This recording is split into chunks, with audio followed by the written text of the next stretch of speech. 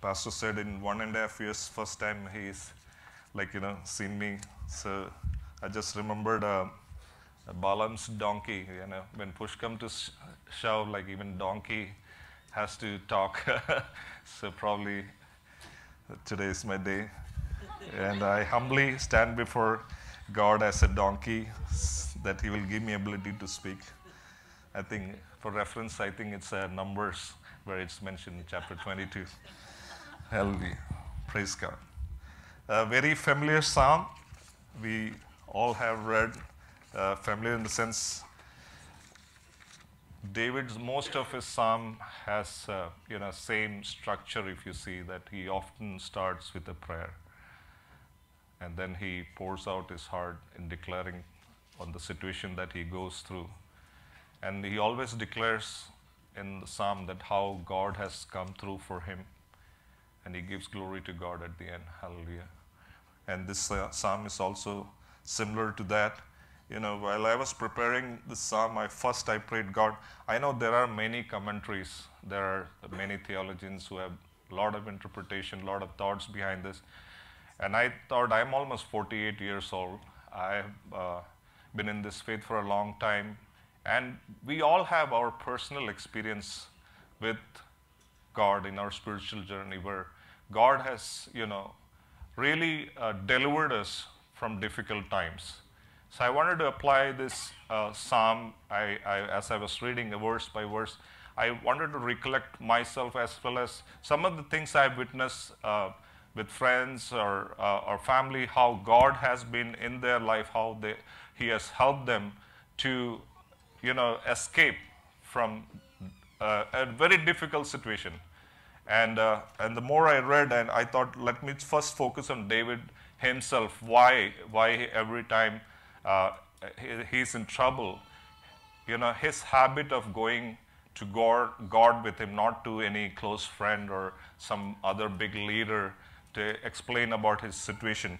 And, I, I and when I looked into it, I just realized that uh, if you re, uh, see in David's life, he was not, not an ordinary person. Like he from a very young age, as uh, like uh, from maybe 15 or 16, this guy has been given a very uh, you know different responsibility at his house. Um, we see his elder brothers. Um, good family, uh, probably th- their father, you know, he wants the children to be very useful in society. He has sent his older ones to the army to serve the country. And, and to David, he has given the household uh, responsibilities where his main job was to keep the sheep of his father. You know, um, as a shepherd, many times he, he would be a, like a, a messenger or like a courier between his father and his brothers because they are in the camp, uh, in the army's camp. So he had to go with probably with food sometime, or like he had to go tell what uh, dad wants them to know about the family situation. So his role is totally different. But one thing we see that he has from very childhood, he has established a close relationship with God. Somehow, probably he's mostly alone all the time, and he has learned to rely on God in every aspect of his life. And when we see uh, his first appearance before Goliath, the proof is there that he was a very young boy because Gol- Goliath, when he comes face to face with David, he addresses him as a boy. You know, and what does David do? David, when he is telling to Saul, he describes himself as somebody who has already fought with lion and bear. Even though he's not mentioning God about there, but when he is actually facing the giant, when he's actually going to fight the giant, he says, I come in the name of the Lord of hosts. Hallelujah. That's something that he has developed from a very young age the reliance on God by seeking God's favor in the midst of trouble. That's what I earned. And uh, one important, um, uh, um, it's a trivia question for most of you. Do you know how many Psalm uh, David has written to children? We know we have 150 Psalm, but out of which, how many of them David has written? So, in all, David has written 75 psalms, which is half of the 150, like 75 of them is from David. you know, we see that um, uh, like mentioned on every psalm where, uh, that he has written uh, from Psalm 3 to 9, from Psalm 11 to 32, Psalm 34 to 41, 51 to 65, 68 to 70, 86 to 101, 103 to 108, 110 to 122, 124 to 131, and 133, and 138 and 145. And then that makes it 73. And in New Testament, in the, uh, in the books of Acts, uh, chapter 4, 25, eight, uh, you know, Peter is telling that the, uh, the uh, Psalm 2 is actually um, from David. Um, even though in, in the heading, when you read Psalm, probably it's not mentioned. And also, uh, Psalm 95, uh, it is mentioned in Hebrews chapter 4, verse 7. Uh, it says that that Psalm is from David. So that makes it 75 of Psalm. So somebody who has started very early in his life to rely on God, that's why we see every experience of his life, he has written it down as a psalm to bring glory to God. And uh, and whatever when we have an experience, when that's when when we if we write a song, it makes a big impact on other people's life too, because his only aim is to proclaim the goodness of God and the mercy of God and the victory that he's enjoying because of God.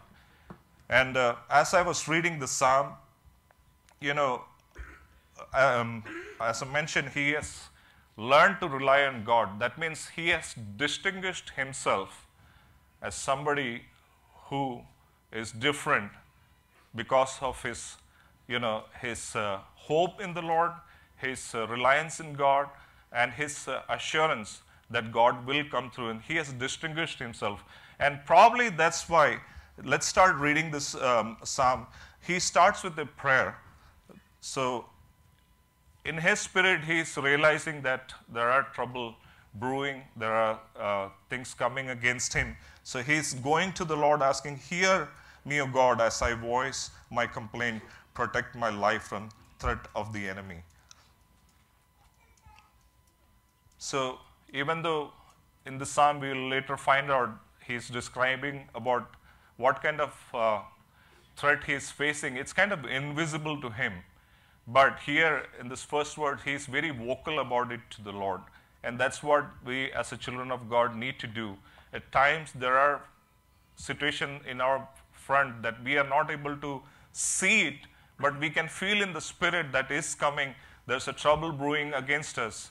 But if we go to the Lord and be vocal about it, that's what God desire of us. You know, He He expects us to come even though he's already aware of what is going on, but he, he loves it when we go and utter that to him because he loves to have a relationship with us.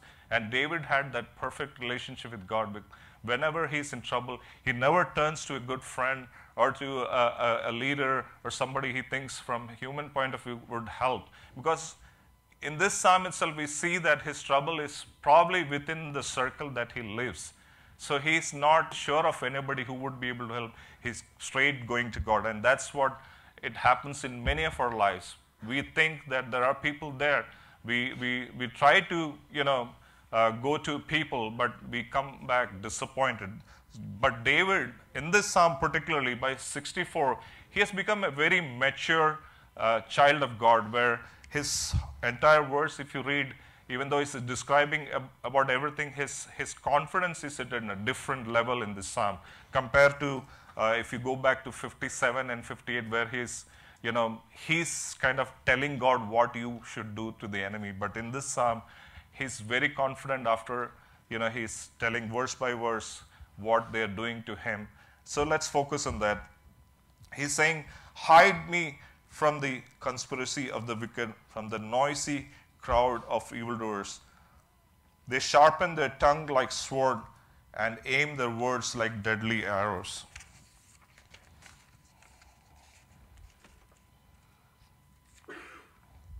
So, what we are saying is, he expects a protection from somebody, and here he is expecting that protection from the God he serves, the God he depends on. He's going and telling God, I have an enemy that I'm not able to see. They are within my circle. You know, they are up to something. I know that it's brewing up. They are gathering other people to align with it. And now it's kind of become very clear. I see more people rising against me. God, hide me from that. You know, in, in our normal approach, when we face something, we try to make you know solution by ourselves probably going back and trying to do the same thing back to your enemy the way they are plotting against it but david is not doing that david knows that if he goes to god he is able to reveal so many things in front of many people that stops from this uh, ha- from happening to him bad things happening to him so he's he's describing uh, with words that he uh, had learned. Because if you see in David's life, he's been to many wars. He has seen the scenarios, what happens in a war. There are times when you're facing the enemy face to face, but there are snipers at times, you know, who shoot at him, the arrows. These are the territories where our eyes cannot see or can focus or are, something that is hidden from us, but that attack is coming from that area. So he's using those phrases like, they sharpen their tongues like sword and their words like deadly arrows. They shoot from ambush at, at the innocent man. You know, when I was reading this, uh, my focus went to the book of Daniel, the book of Esther, even, and in New Testament, we see about Jesus. You know, all this familiar scenario that is happening with them in, in Esther, uh, if you go to chapter 3, you start the things that start, uh, you know, how Haman is uh, uh, suddenly agitated because he has learned the things uh, about Mordecai and the people of Israel. And what he does is he starts scheming, he starts plotting. And we see in the book of Daniel, if you go to chapter 6, that's one of my favorite chapter. Um, let's let's turn to um, uh, sorry.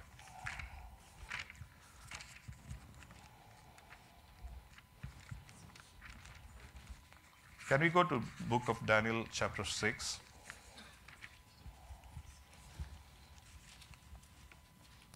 In the beginning, I mentioned about David, how he has distinguished himself as a child of God. If you read chapter 6, it says that it pleased Darius to appoint 120 satraps to rule throughout the kingdom, with three administrators over them, one of whom was Daniel. The satraps were made accountable to them so that the king might not suffer loss. Now, Daniel so distinguished himself among the administrator and the satraps by his exceptional qualities that the king planned to set him over the whole kingdom. The word of God reminds us wherever we are, in our workplace, in a public place, there's a way that you can distinguish yourself as a child of God. If you read throughout that chapter, we will learn why he, how he distinguishes. Because everybody has been given the same responsibility, but Daniel has a habit where he's not mingling and trying to please these people and trying to find favor with them, but three times in a day he will go and he will start praying. And that's why God set him apart from all the people that he was with. They all had powers, they were all with great responsibility. But Daniel was different. He distinguished himself. That was what David did from the childhood. Like he distinguished himself, his reliance on God. And we see in, the in life of Daniel that he distinguished himself. How many times? You know, I, I confess, many times, you know, we just take it very casually in many places where we should be distinguishing ourselves. And that's why probably we don't face a lot of problem like Daniel would pray. And what happens here? The fellow people who were working with him, they don't like it, and then the trouble starts for Daniel, right? And just like in Psalm 64, Daniel is doing what he's used to do. He's going back to the presence of God three times, hallelujah, and praising God. And and seeking his face, and he's just praying about the matter. He has learned about this chapter says he has learned about all the plans that has been hatched, but he's not saying anything about against it. Rather, he's taking in the presence of God and praying about it. Where else do we see that in New Testament? We see in the life of Jesus. We see that from the beginning of his ministry, he was constantly, you know, was they were trying to put him in trouble. The questions were, you know, put in his front in a way where they thought they can trap him in his words, you know. But Jesus has never responded in a way where we'll think that, oh, he's immediately doing something, but he always withdrew himself in the night or early hours of the day and he would talk to his father. And, and many of us, we fail to do that. That's why we get overwhelmed when the trouble comes. But David has learned and mastered about it when the trouble comes, when things are plotting against him. Uh, you know, he has developed a habit of going in the presence of God. As I mentioned in, in, in previous Psalms, some, some places where he's very vocal about what you know God should do to his enemy. It says like you should break the teeth of their mouth and all like something like how we would. So, but here in this psalm, later we will read from chapters, uh, verse seven, how he expects God to come through for him, and we, uh, you know, um, we talk about Jesus being betrayed. You know, um, I think in Matthew chapter uh, 26, verse um, uh, 36 to 56, Jesus, you know, shows us the example. On the very night he was betrayed, you know, what did he do? We read about that in the Garden of Gethsemane. He was praying to his Father. He knew what is coming against him. It was very hard for him. And even in that same chapter, later we learn that even Jesus tells when Peter draws his sword and strikes one of the soldiers, he says, I could have called the angels right now, you know, uh, uh, many of them to come and save me, but that's not what the will of the Father is. That's not what I have come for. There's a mission that I'm on, and that is to save the mankind, and for that I may have to leave, you know, give my life for that. So he just sets the example, he prays, and we can see the anguish in him while he's praying. Dear children of God, how many times we can do that in our life? You know, when this kind of trouble comes, how are we reacting? Are we like Daniel? Are we like David? Or are we like our Savior Jesus Christ? You know, enemy had many plans, many things against us. You know, but Jesus, He Himself. We let's go to um, uh, verse seven here. He says, But God will shoot them with arrows. Suddenly they will be struck down. See, this is what happens when God intervenes for you, when you take everything to the Lord. You know, He has a way to destroy the enemy's plan. It says, The God will send the arrow from heaven to destroy the plans of the enemy.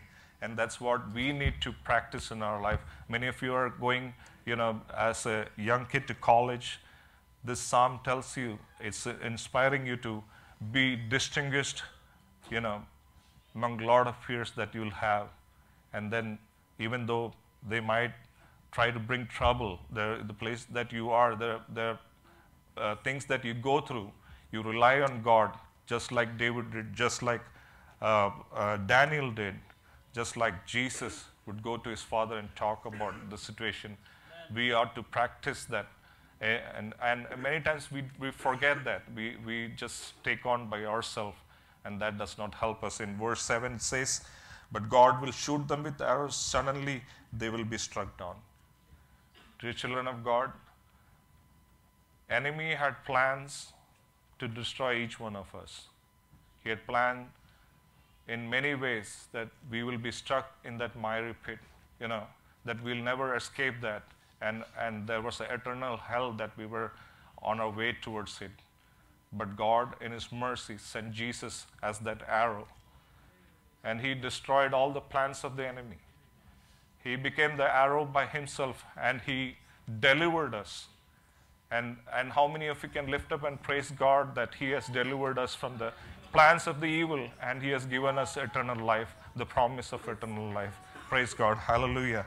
And that's what um, in the psalm, uh, you know, very confidently in verse 7, David is saying, Now the, the table is turned against the, the very people who were trying to destroy him, and God has taken care of the situation. David had did not have to do anything. All he did, like, was going and asking God to help him in that situation. We we know that's a song that we have. Um, what a friend we have in Jesus. It is a similar scenario in that song, like, have we friends that forsake and despise thee, but take it to the Lord in prayer. Just like Daniel, let us develop a habit to taking everything in the Lord, whether it's been your workplace, anywhere that you're facing trouble, and there's a chance that can destroy you in, in many ways, emotionally or, or physically, or in any way that uh, can set you in a different direction. Ask God intervene in, in that matter and let him shoot the arrow from heaven for you and destroy the uh, plans of the enemy. That's what this psalm is reminding us this morning. And in later words, it says in verse 9 and 10 all mankind will fear, they will proclaim the works of God and ponder what he has done. You know, when I was reading that, David has this habit, like he always tell the goodness of God the way it is. When God intervenes, when God is the one who is taking care of your problem, you know, even the people around you will see that and they will praise God or they will glorify the name of God. And uh, the perfect example of that in, in book of Esther, we see that in chapter 7, like everything that Haman planned is turned against him and he's hanged now. And in, that, in, and in the following verses, you'll see King Xerxes, he's actually declaring the greatness of God and he's telling the people of God that that they serve a living God, and he's putting up decrees where he, the king is glorifying the God. And in same thing in Daniel chapter 6, that's what, that fascinated me so much. I want to read from that. You know, um, one thing I forgot to mention is like why we do not go to people for help like situation like this. When I was reading this, both in uh, Esther and in Daniel, one thing I realized is like if you see both the kings, they have a soft corner per, for these people. They, they don't want them to be destroyed, but they're helpless. That's how the enemy plot. Like they, they put things in front of the people whom you think they will be able to help, they're not able to help. You know, they plot in such a way that there's no escape from it. Like Xerxes has to agree, yeah, there's a decree. Here, uh, King Darius has to agree, yeah, there's nothing that I'm not, I'm not able to. He likes Daniel. He has seen how good Daniel is, how faithful he is to his Lord, and he does a faithful job. King Darius wants to save him, but he's not able because there's a decree. An enemy tries to frame, you know, frame us in that same situation where a lot of time like a pastor or a leader or a, somebody who knows us personally is not able to deliver us from that. That's why these people have developed a habit of going to the Lord, and that's what this psalm is telling us. Our reliance cannot be on human being. In, in the case of Jesus, we see that he, he's, uh, you know, he's standing in front of Pilate, and Pilate know, knows in his heart that Jesus is innocent. But is he able to deliver? The, the, they have conspired, and, and these people are some of them may be the ones who have eaten from the bread that Jesus had, you know, made it through his miracle.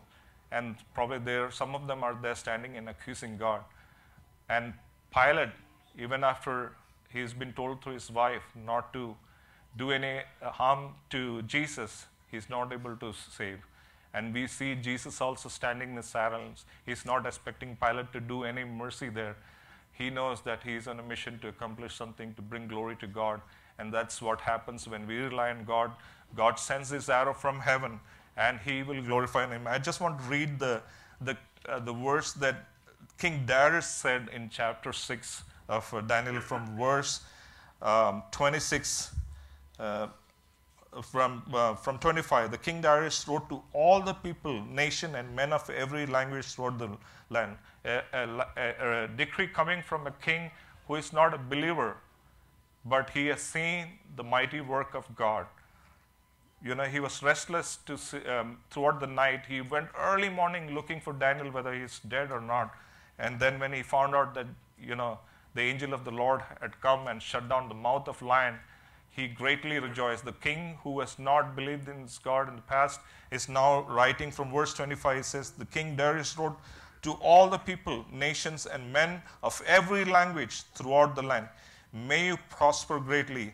I issue a decree that in every part of my kingdom, people must fear and reverence the God of Daniel. For he is the living God, for he endures forever. His kingdom will not be destroyed, his dominion will never end. He rescues and he saves. He, he performs signs and wonders in the heavens and on the earth. He has rescued Daniel from power of lion. So Daniel prospered during the reign of Darius and reign of Cyrus and Persian. What a mighty God we serve, hallelujah. When we pray to God, when we see the deliverance of God, it impacts the people around us.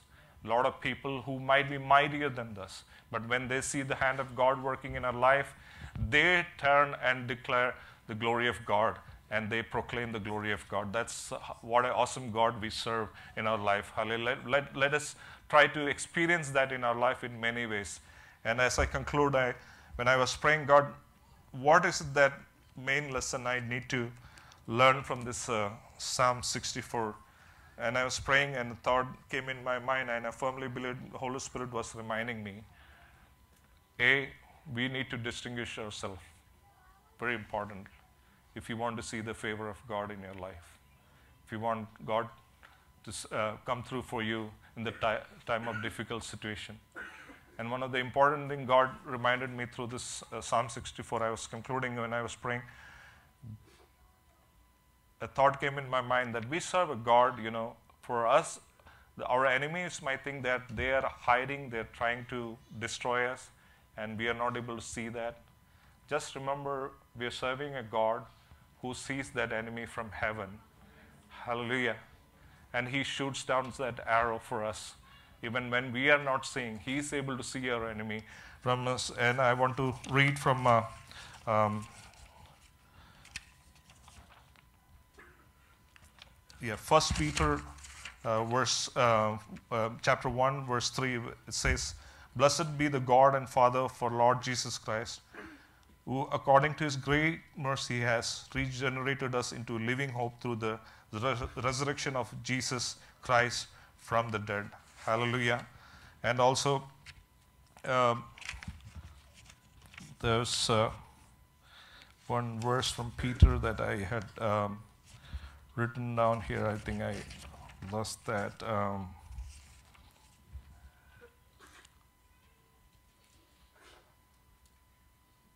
yeah, it's First Peter chapter 3 verse 12. It's a very familiar verse. It says, "For the eyes of the Lord are on the righteous, and his ear are attentive to the prayer, but face of the Lord is against those who do evil." Let us all remember that as David did, as Daniel did, as the Esther would tell Mordecai to go fast and pray. Let us come before the Lord every time we are in this difficult situation because there's only Jesus who can come through for us. He has already come through us for us when we were on the path to destruction. He saved us, and he's, he he sits in the right hand of God, continuously interceding for us, so that all our troubles could go away. Praise God for His great mercy in our life and, uh, and, the, and the love that He has showered in our life. May God bless you with His word.